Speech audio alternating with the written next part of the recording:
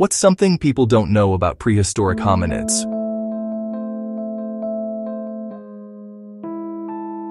They weren't just brutish hunters.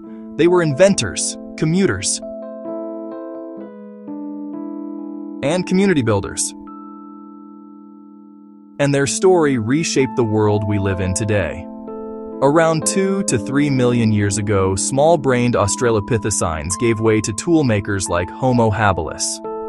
Quick fact, the first stone tools appear about 2.6 million years ago. Culinary tech before agriculture. By a million years ago, Homo erectus was walking long distances, cooking with fire and spreading out of Africa. Social groups meant shared hunting, childcare, and knowledge passed down. Early culture.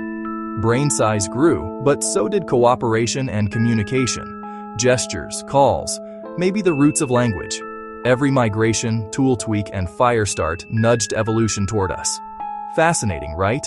Want more bite-sized prehistory? Hit follow.